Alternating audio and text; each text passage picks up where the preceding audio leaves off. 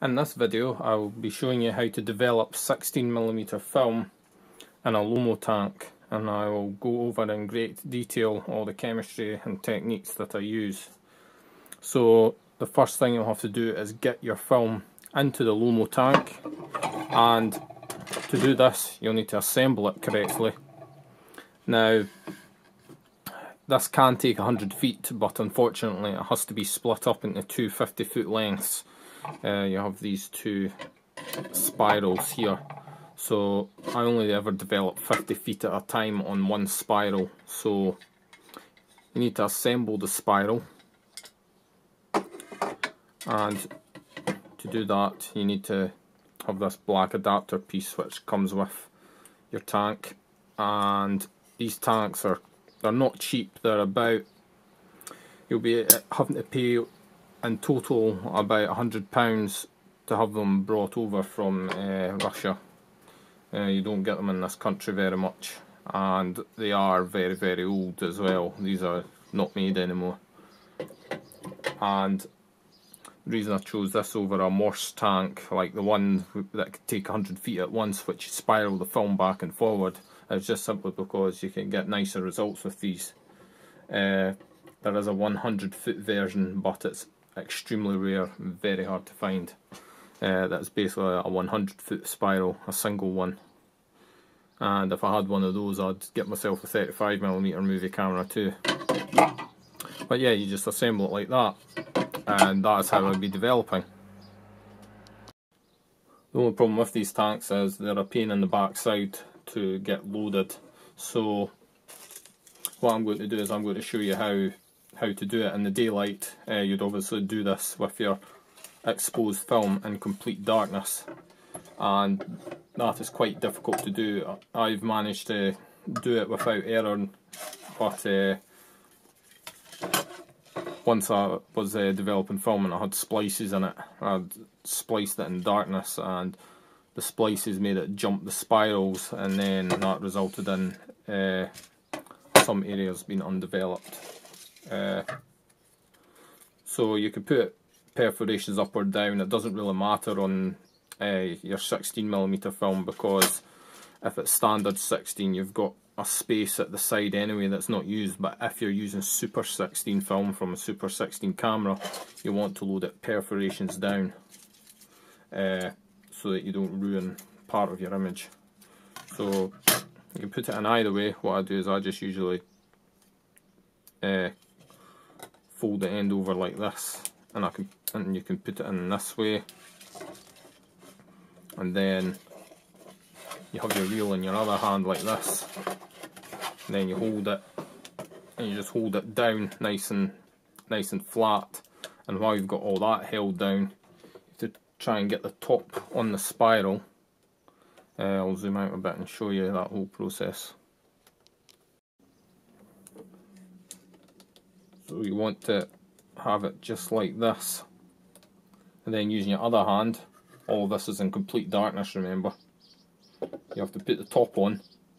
Now in complete darkness what I do is I put my finger through this and try and feel for the for the hole uh, where the where this screw piece goes through and then you can just screw that in like this. Then you start twirling this like that.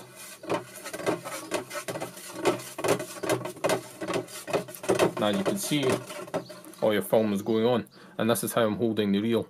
You want the film to be going flat uh, towards the reel like this. So the film's flat and then it's naturally uh, twisting to vertical like this.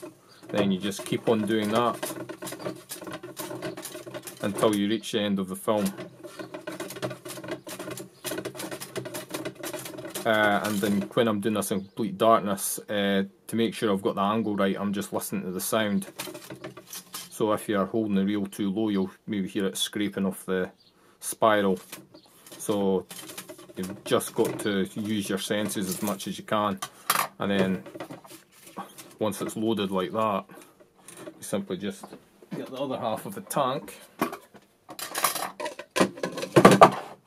And then that goes in there like that. Then you'd put the lid on and then just uh, turn it to the closed position to lock it and then you're ready to come out into the light. The film I'll be developing today is, it's not 320t by the way, there's actually about, uh, I think there's about 10 or 15 feet of EXR 50D inside here, uh, which was just a short end of a reel that I'd finished, so I'll just be developing that small amount. So it's not going to fill up the reel very much at all. So with the film loaded in, I'll briefly go over what chemicals you need. You'll need at least 1.2 litres of everything because 1 litre isn't going to quite cover the spool inside the tank so you'll need a developer, you'll need bleach, you'll need fix and you'll need stop bath and stabiliser. Now in my previous video on how to, how to make those uh, I, I stated that you're to use like a certain amount of each chemical. And as it turns out these chemicals were meant to be anhydrous. I think it was a sodium bromide that was meant to be anhydrous. And if you use non-anhydrous it means you have to use slightly more of the non-anhydrous stuff compared to the anhydrous stuff so maybe add an extra couple of grams or whatever of uh, the chemical that was meant to be but I wouldn't worry about it too much really because I use the non-anhydrous stuff as stated in the recipe and the stuff just worked just fine. Uh, I never had any problems. So the bleach and fixer are the ones that I made up in the other video on my channel. Uh, I'll put a link to that in the description. The stop bath is just, I'm sure it's 20 grams of uh, citric acid to 1 litre of water and the stabilizer uh, I bought that from Nik and Trick Photo Services that, that was actually part of a C41 kit but I've ordered more and same with the developer that's RA4 developer which came from NT Photo Works so you just search that in Google and uh, you'll get uh, to the page to buy it. It's like five pounds for a litre of developer. And I'll show you just now. I've actually got some here. It just comes in two bottles like that. You mix those together as per the instructions. And then you have a litre of de developer to work with. And I'll probably be using quite a few of these to develop all the film from the Epic camp trip. So there'll, there'll, pro there'll probably be like maybe 1,600 feet worth of film for me to develop. And I reckon you could do 200 feet per litre of developer uh, so I don't know how that's going to go. I'm, I'm not decided yet. I might just send it all off to London to be developed. Cinelab London. But the first thing you want to do anyway is warm up all your chemicals and I'm just using this water bath here. That's one of those sous vide things and I've just set the temperature at 40 degrees just now to warm everything up but uh, you can develop at 38 degrees, that's the recommended temperature, 38 degrees Celsius although you can experiment with other temperatures. I think the official temperature for the ECN2 process is actually 40 degrees Celsius for 3 minutes. But um, I've been using 38 degrees Celsius for 3 minutes 15 seconds with brand new developer and that's worked just fine. Uh, so that's that's okay. The only other chemicals that have to be at a different temperature are the bleach and the pre-bath for getting the rem jet off. So these two have to be at 27 degrees Celsius. So I just take them out the bath early before everything else is heated up and then place them in cold water if necessary to cool them down a bit and get them as close to 27 as I can. Uh, that's just per, as per Kodak's recommendations so I just follow those as much as I can so they two can come out.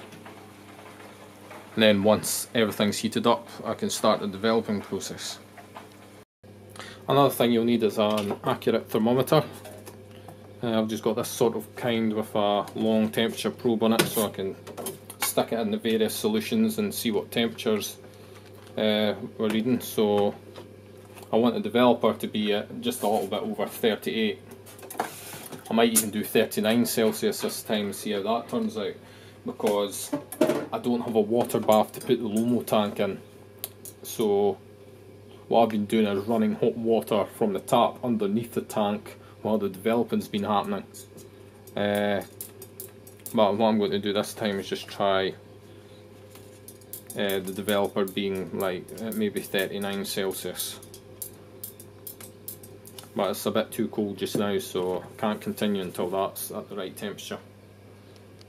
So in the official Kodak literature on the ECN2 process that the actual temperature is uh, 41.1 Celsius for the developer but um, with these things it's just a matter of experimenting. 38 has worked for me but uh, the developer I'm using uh, is getting quite old. It's been uh, used for quite a lot of 60mm film and it's near the end of its life so I'm going to just up the temperature this time and develop for maybe close to 4 minutes because it is getting quite old. Uh, but really you just have to follow the instructions that come with your developer and uh, and do your own experimentation.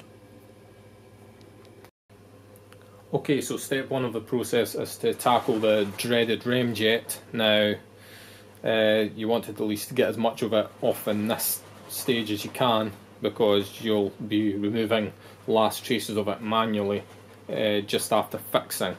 So, to do that, get your tank ready. This hose, make sure it's above the tank so uh, you don't have your solution coming out as you're pouring it in. And what I like to do is just stick something in the end. And now there doesn't seem to be anything in the entire household that fits in the end of this hose apart from this squeezy bulb thing, so I'm going to put that in it. Uh, and that means that I can just leave it hanging like that. So, the first stage is to pour in the pre-bath and I've also got a video on how you make this stuff. This is a proper stuff using Kodak's recommended formula. So you just want to pour it in as quickly as you can. It's only meant to be in contact with the film for about 10 seconds, so it's basically going in and then coming out again. So we pour this in like this, get all of it in.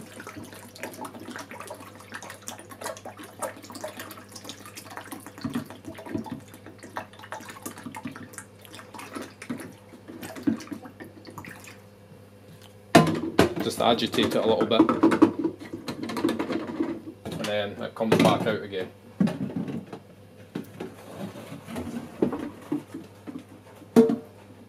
We just uh, flush it out like this, holding the tank up. Try not to spill any. Try and recover as much of it as you can. There we go, we've maybe only lost about 10 millilitres, so just put this to the side once you're finished with it. And then just dump in a whole load of warm water. Not too hot, maybe like about between 30 and about 30 degrees Celsius roughly. Uh, and then just dump all that in.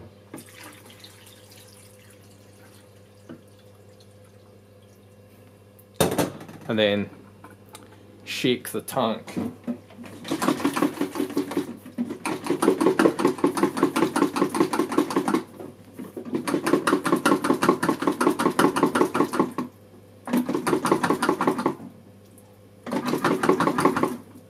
reason I'm pausing is because when you're shaking it, the solution starts, well, the water starts building up in there and going everywhere. So you just pause, and now you let that come out. Now, if there's 50 feet of film inside this, that would look absolutely black. It'd be like used engine oil coming out of it, that sort of colour. Uh, and you want to do, repeat this maybe two or three times until the water coming out turns clear.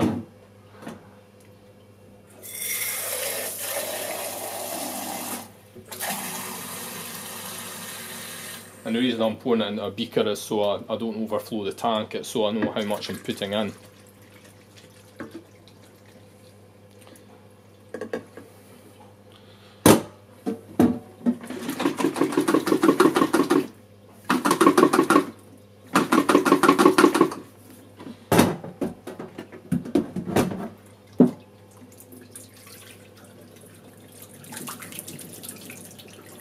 That's pretty much as good as we'll get. Uh, then what you want to do is uh, try and get as much of the water out of it as you can, otherwise you'll start diluting your developer because when the reel inside here is wet it does hold quite a bit of water. You just want to shake as much of that out as you can.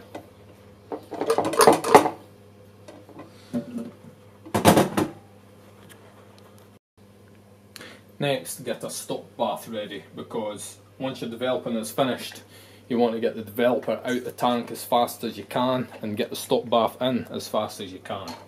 Otherwise, you'll get uneven results in the film. So, this is a stop bath going in here, and I'm just putting it in a beaker so I can dump it into the tank as fast as possible. So, that's how I get really nice even results and I've got plenty of examples to show you because I've uh, done this process a few times before. So I can just sit over there like that. Uh, put this bottle back in the water bath. Now we're ready to begin developing. So you'll need to set a timer. Uh, when the developer is brand new I'd use just um, 3 minutes or 3 minutes 15 seconds uh, those times work fine for me, uh, but in this case I'm going to be doing it differently. I'm probably going to be developing maybe four minutes because the developer's quite old. Okay, in the background I've got my phone there to time the whole thing. So what I'm going to do is get the developer now and as soon as I start pouring in the developer I will start the timer. So the developer is going to be at about 41 Celsius just now uh, but I'll verify that quickly. One other good thing to do is uh, get some warm water in the tank, just flush it through with uh, quite warm water. Or, or even what you could do is just rinse it, turn it upside down and rinse it under the tap to pre-warm it before you start the developing process. Because over the course of four minutes the whole thing's going to cool down. So uh, I'm just going to get it like this. And just have hot water running over it. Uh, or you could just pour the hot water in it because the hot water is going under the lid and going onto the film anyway, so maybe it's a bit pointless doing this. But um, the idea is just to get it nice and pre-warmed.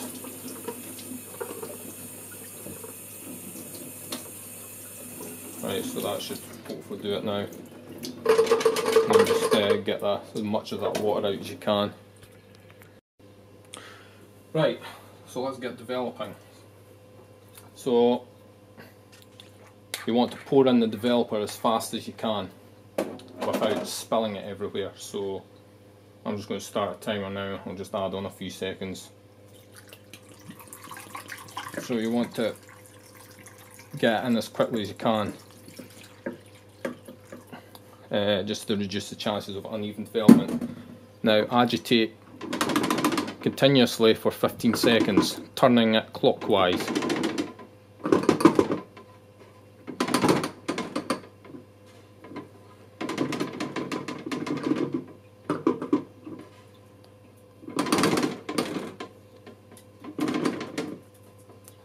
Then you want to agitate for 5 seconds every 30 seconds.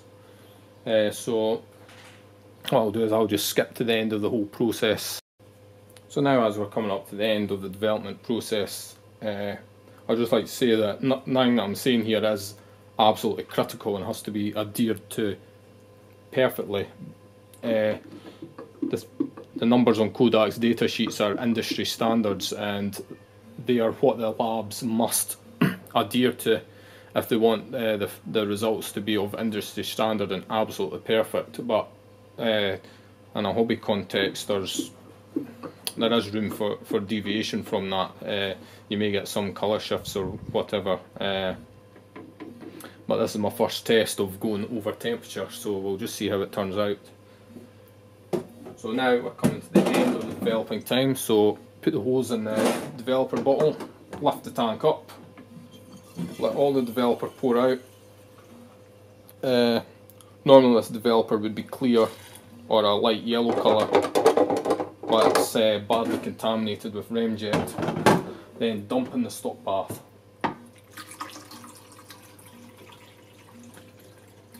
As fast as you can. And then just agitate it uh, for a little bit. Um, and it has to be in there for a minute.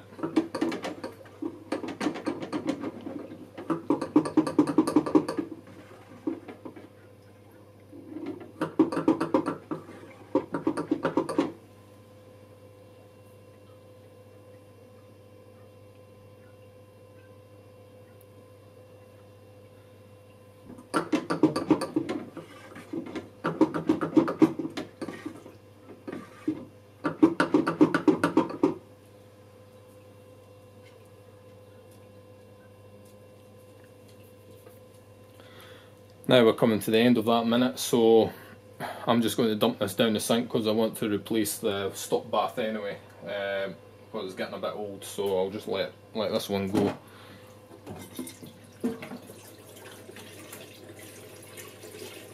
It's just a weak solution of uh, citric acid anyway. Citric acid is normally used as a food flavouring.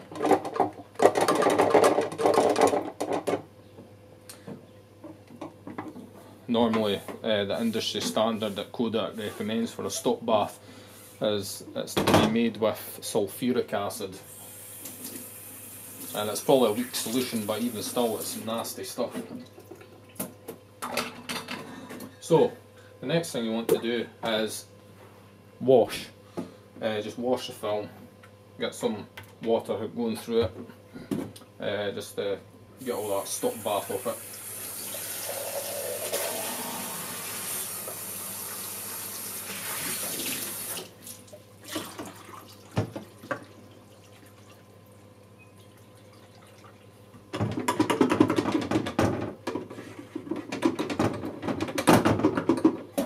and after you've washed the film you can handle the film uh, now in normal light. Uh, I wouldn't do this in really bright conditions but you can actually open the tank now uh, because for the rest of the stages I like to have the tank open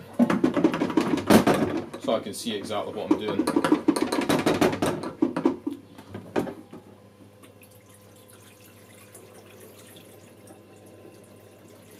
So that's just me dumping that wash water out. Uh, so what I can do now is, now that the stop bath has been completed, uh, I can open up the tank and you can see the foam inside.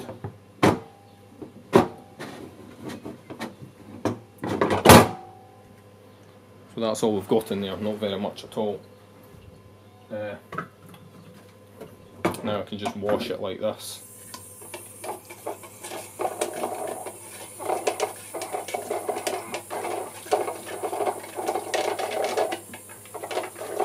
Now the stop bath is very important because I was having a problem where for some odd reason all my negatives were coming out bright red.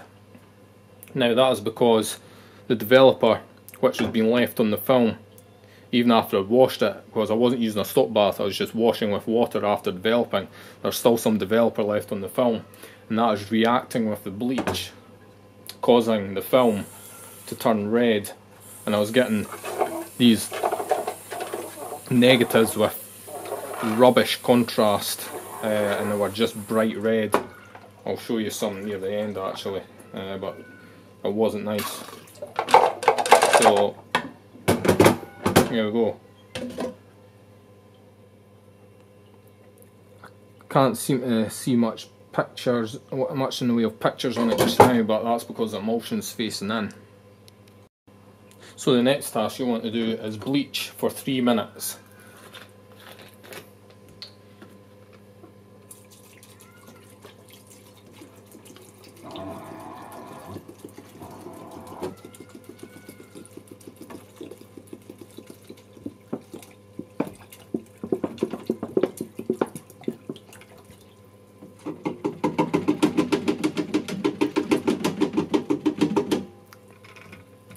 And that's why I like to have the tank open like this because I can see everything that I'm doing. I can also agitate it much better as well to get all the air bubbles out. So we'll just leave that for three minutes, just uh, the usual agitating every 30 seconds. This is just the first agitation here for uh, the first 15 seconds, so that'll do it just now. So that's uh, time just about up for the bleaching process, so it's time to put that back in its bottle and then wash thoroughly. Because if you don't the bleach reacts with the fixer and causes weird spots on the film. So I'm just getting rid of all that bleach back into its bottle just now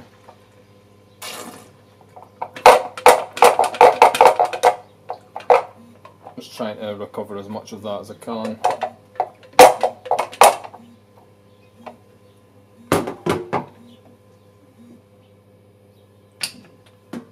and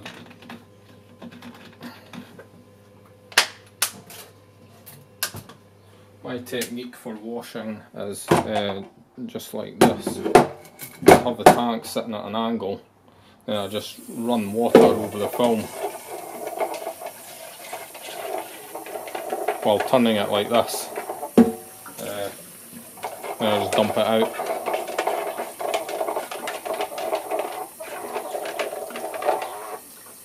And basically you want to wash it thoroughly until there's no trace of that yellow colour anymore.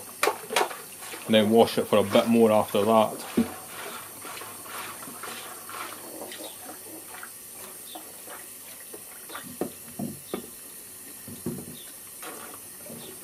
but the thing is uh, I think this developer is almost totally dead uh, because I can't see much in the way of pictures now if your film's properly exposed you can usually see actual images on it before you've even fixed it. So it might not have worked, but it's maybe too early to say.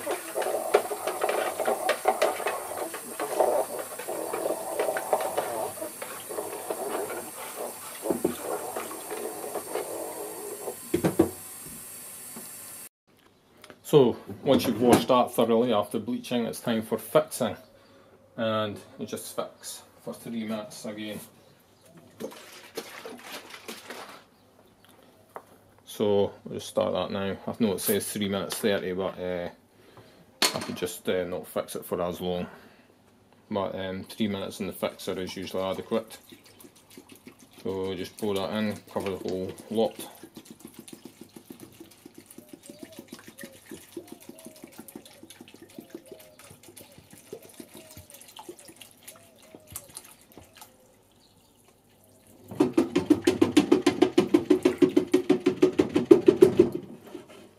Now this stuff does smell quite nasty, so uh, if smell is a problem you can always just do the fixing with the lid on the tank. But I'm in a well ventilated area just now, so that's not really a problem. It's because it's, um, I'm sure it's sodium thiosulfate and, uh, and sodium bromide. I, I, can't remember the exact recipe, but it's whatever I used in the video, and it's uh, it's a nasty smelling mixture. So that's the time just about up for the fixer. So we'll just pour that back into this bottle and wash the film thoroughly. And after the film's been washed thoroughly, that's when we remove the last traces of Remjet.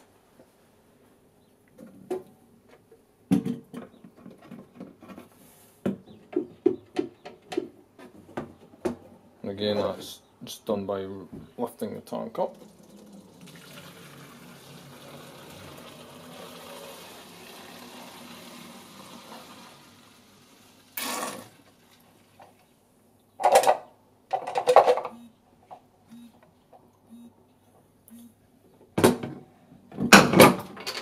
Hmm, it's not very good. It's usually best to avoid dropping stuff.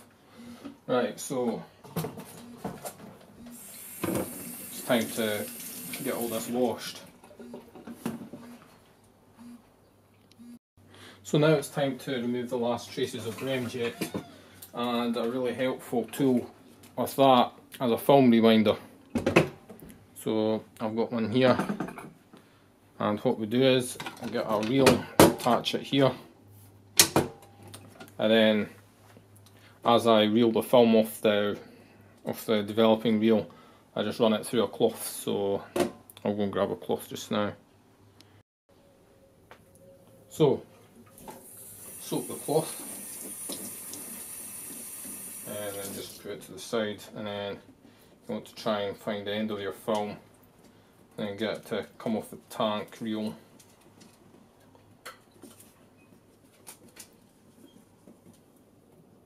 So there is actually a picture on the film uh, here, but it's a bit, it's a bit weak looking, I would say. Uh, I think that developer is totally done.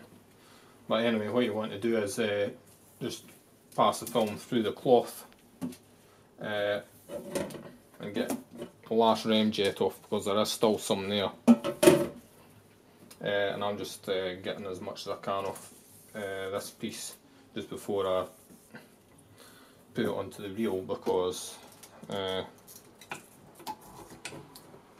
because if you have remjet on the film and then it goes onto a reel uh, it transfers from the base to the emulsion and you get uh, dull smears on your finished film.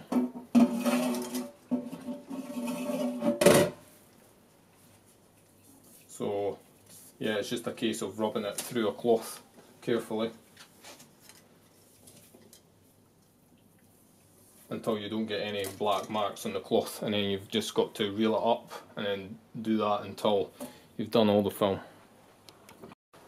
Okay, so once you've done that, uh, you want to put the film back onto the reel because you still need to stabilise it. Uh, and that's the final rinse to make sure that it actually dries properly and it helps preserve the image, things like that. Uh, so just reel it on, back on as you did before.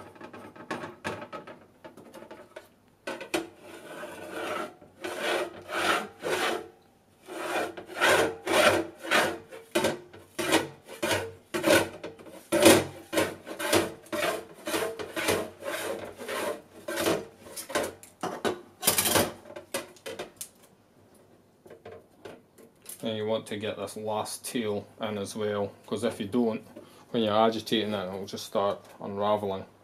So that's that.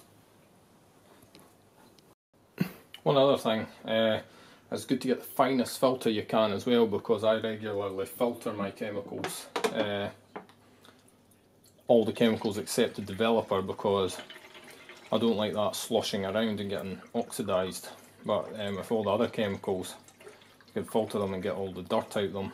You get less spots in the film. Uh, so this is just the stabiliser bath just now. And we just put that in there for three minutes. And that's not temperature critical, that can be 27 to 38 Celsius. So we'll just have that in there for roughly three minutes and that should do it for the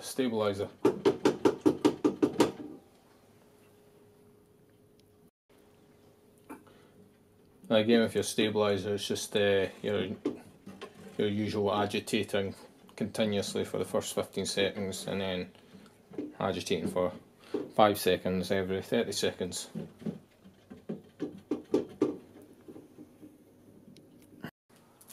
NT Photoworks also sells uh, the Kodak stabiliser so uh, they sell them in these bottles really cheaply. Uh, it's very very cheap. I think it was about maybe two or three pounds per bottle. So just 10 milliliters of stabilizer plus 900 milliliters, 990 milliliters of water. Uh, then you've got enough there for a lot of stabilizer.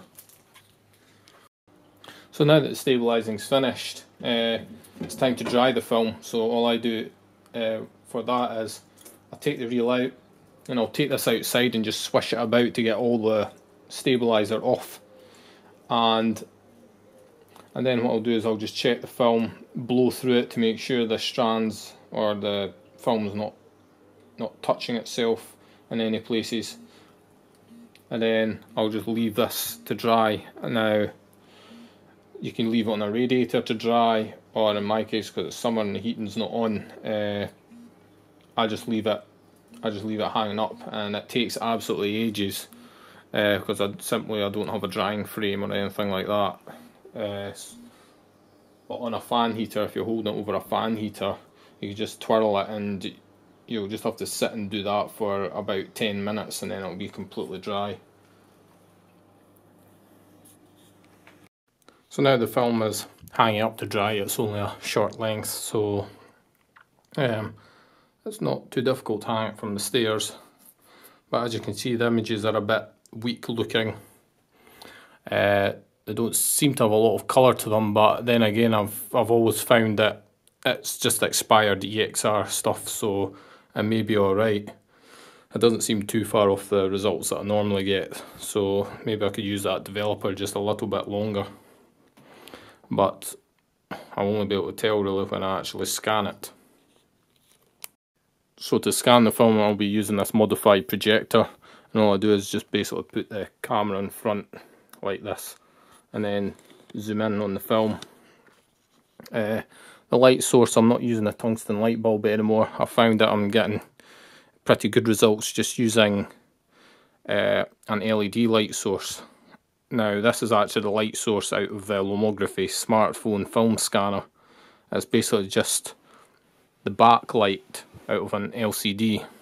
Uh, so if you can get a small LCD screen you can actually take the backlight out of it and then you could probably use that instead and it gives a nice even coverage. It's more even than what, what it was and it doesn't seem to be messing up the colours too much at all.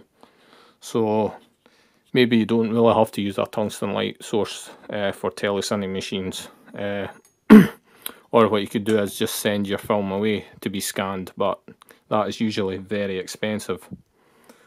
Uh, in my case it was much cheaper just to build a machine to do it. Uh, rather than sending film off to be scanned all the time. Plus that's more time consuming. So the film has now been cleaned and basically all I did was just run it through these rewinds and just use this sort of soft cloth to get any dust off it.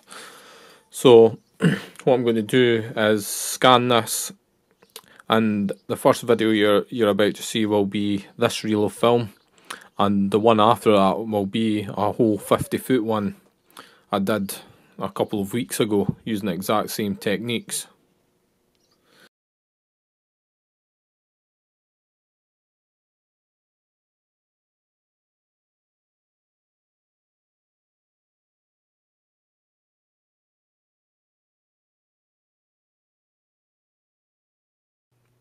So as you can see that turned out not too bad at all. So the way I've been working it is I've actually got two litres of developer that, was, that was made up, two of those um, RA4 sets that I showed you and I have them separated into two one litre glass bottles and every time I finish developing what I do is I pour both of them into a one no, no a two litre Irn-Bru bottle that I've cleaned out properly. Then I just mix them together and pour them back out into their separate bottles again. And that just sort of replenishes the developer and mixes it. So those two litres of developer have done all of this film which you see here. And yes, all of this. There must be about 300 feet here anyway, so it's, it's done better than I expected. So the next film you're going to see is this one, which was done just on a walk with the dogs. So that's 50 feet there. So uh, that one came out really good as well.